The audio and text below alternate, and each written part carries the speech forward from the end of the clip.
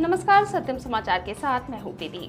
खबरों में सबसे पहले बात करते हैं। अखिल भारतीय विद्यार्थी परिषद के पदाधिकारी की ओर से मनाए गए जश्न की दिल्ली यूनिवर्सिटी अखिल भारतीय विद्यार्थी परिषद की हुई बम्पर जीत के बाद नगर में अखिल भारतीय विद्यार्थी परिषद के पदाधिकारी ने जमकर जश्न मनाया और आतिशबाजी चलाई।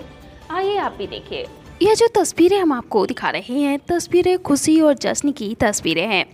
बता दें कि नगर के क्रिश्चियन तिराहे पर बीती देर शाम उस समय तेज धमाकों के साथ पटाखों की आवाज़ सुनाई देने लगी। जब यह अखिल भारतीय विद्यार्थी परिषद के पदाधिकारी ने जश्न मनाना शुरू कर दिया।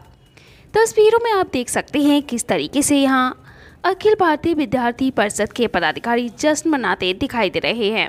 सिर्फ़ अखिल भारतीय विद्यार्थी परिषद के पदाधिकारी ही नहीं, उनके साथ भारतीय जनता पार्टी के नवनियुक्त जिला अध्यक्ष राहुल चतुर्वेदी समेत तमाम पदाधिकारी की मौजूदगी भी देखने को मिली।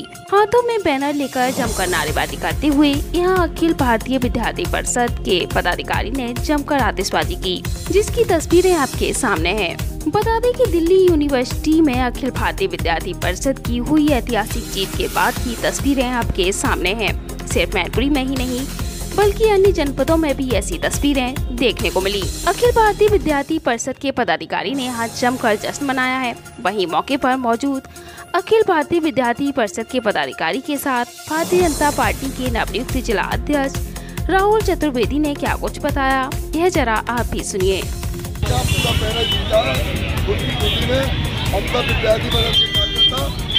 तो